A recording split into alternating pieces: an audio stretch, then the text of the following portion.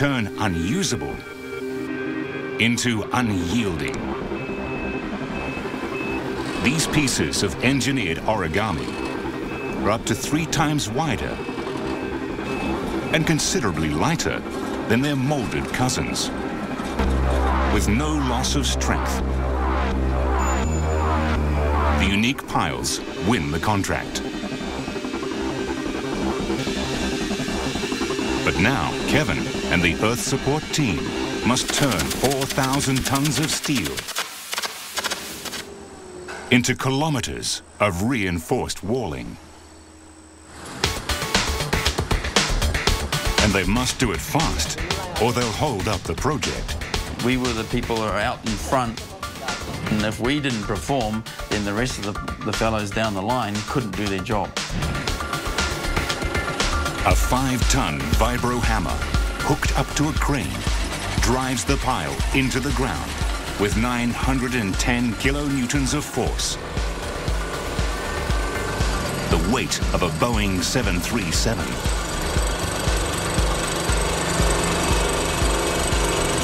With this power, the crew can install 45 meters of walling a day.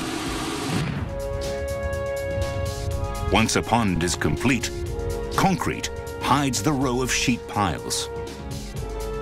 But beneath the facade is an armor-plated pond. You could drive a semi-trailer at 100 kilometers an hour into this wall and it wouldn't affect it. The ponds are back on track. Just in time for a major breakthrough. Gus and the SMART team finish the excavation phase of the tunnel in record time, despite the cost. We have done something what uh, I would say nobody has ever done before. Great success. Everybody was happy, and we can all be very, very proud of it. The engineers can now begin the next phase of the SMART tunnel.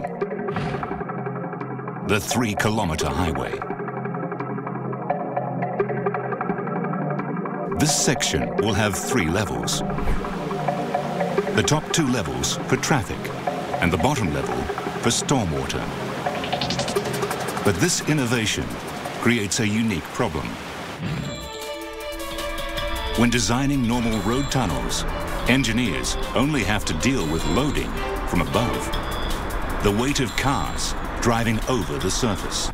But on this project, cars are only half the equation.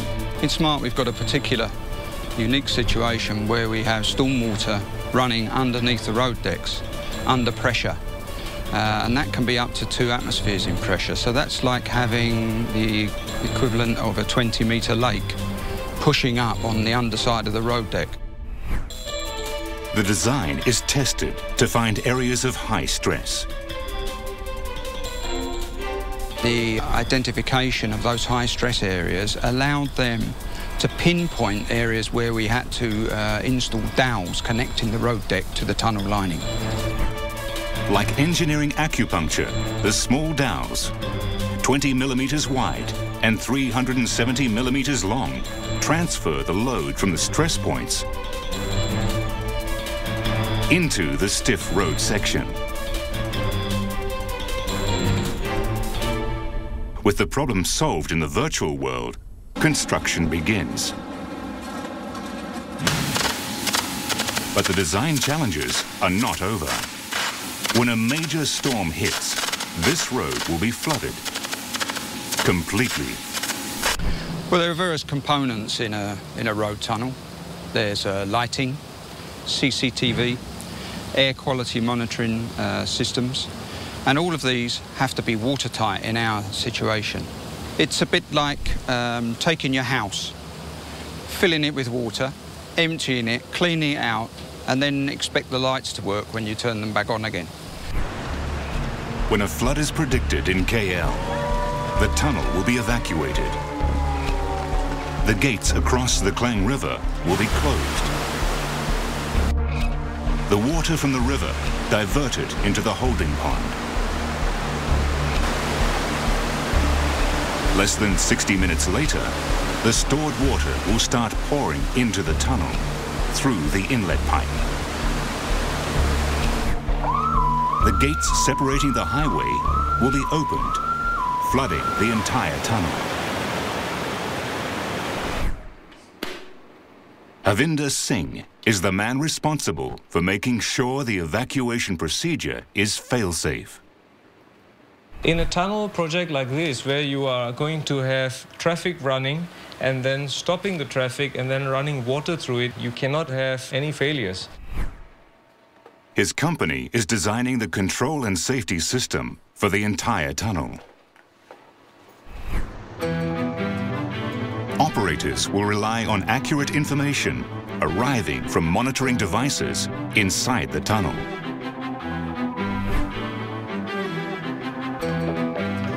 But when the project started, waterproof versions of these devices didn't exist. None of the equipment that is normally used for traffic or for motorway operation is actually designed to be submergible, especially up to 25 meters. Everything that will go inside the tunnel must be designed from scratch. Then pressure tested. Security cameras, fire extinguishers, even the lights. If they pass, they become smart components. But a crucial piece of the flood control system is still missing. KL can go from situation normal to a full flood in under two hours. And this kind of flooding can occur even if it's not raining in the middle of the city, but it's raining upstream. If this epic battle is to succeed, they need a warning system that's foolproof. The Kuala Lumpur Flood Control Plan has multiple lines of defense. But if they are not deployed in time, the plan will fail. The solution? A warning system, faster than anything that has come before. Chris Godding is the Malaysian manager of Greenspan, the company designing the flood warning system. If the predictions are wrong, if they don't accurately capture the flood, or if the wrong techniques are put into practice to divert the flood, then there is a very big chance that a loss of life could occur. Chris's team uses computer models to help make the predictions. So the model is what looks at the data that's coming in, the rainfall, the river levels, the velocities. In a normal system, these models run every hour. But to keep up with KL's turbulent environment, Chris's models run every five minutes. To make these lightning predictions, Greenspan installs state-of-the-art monitoring stations out in the field. The equipment that we've put into this system is at the absolute cutting edge of instrumentation, communications and process control. The star of this high-tech monitoring show is a $15,000 cylinder called a Doppler velocity reader. The Doppler works like a speed camera. It fires radio waves at the water at a certain frequency. When the waves hit the water, that frequency changes. An inbuilt sensor calculates the velocity of the river based on the difference between the outgoing and incoming frequency. There are 28 stations around the valley, all feeding real-time information back to mission control. Four years after it all began, the ponds are on standby the barrages are ready. The warning system is in place. The smart tunnel set for action. And the diversion canals nearly finished. When finally complete, the Kuala Lumpur Flood Control Project will be a true man-made marvel. A daring endeavor to control nature that will pay off tenfold. I think it's quite a marvellous feat the way they've managed to coordinate the tunnels, the ponds, the canals. Uh, I think the whole world would look at this as quite a, quite a significant achievement. The team have overcome unique challenges